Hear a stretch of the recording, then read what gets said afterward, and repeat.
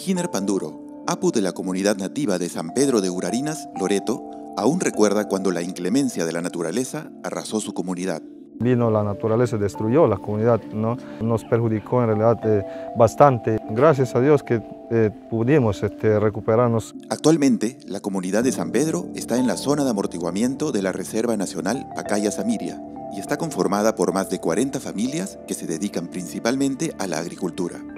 Así como la comunidad de San Pedro, varias comunidades se encuentran ubicadas en la zona de exploración petrolera más importante del país y que durante más de 40 años han sufrido los impactos originados por la actividad de los hidrocarburos. Desde que nosotros sufrimos el impacto del hidrocarburo, ¿no? derrame de, de crudo, se ha podido ver que es la contaminación que ha podido afectarnos. Nosotros nos dedicamos a la agricultura, a hacer chacras, platanales, maizales y poco a algunos eh, a, la pesca ya por esos tiempos porque casi no hay el pescado. El pescado se empezó a perderse eh, por el tema de, la contaminación. Ya desde el 2014 nosotros podemos ver que hay una escasez de pescado. Los peces se veía que empezaron a morir en las quebradas. Miles y miles de, peces murieron y a base de eso eh, nosotros ahora este, no podemos ya dedicarnos a la pesca, no solo nos dedicamos a la agricultura.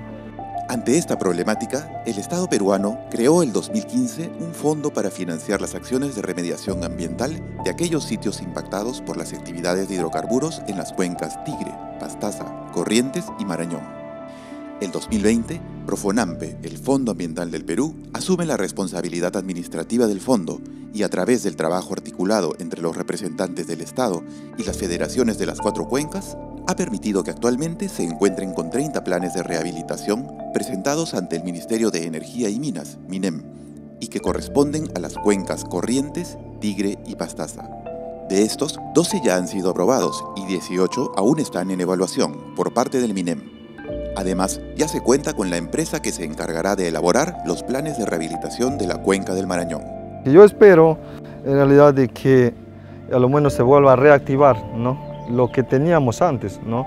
lo que teníamos eh, en realidad eh, a base de nuestras eh, comunidades. Sí es una buena noticia porque se está viendo a base de, esta lucha y de que para nosotros volver a, tener la misma vida, ¿no?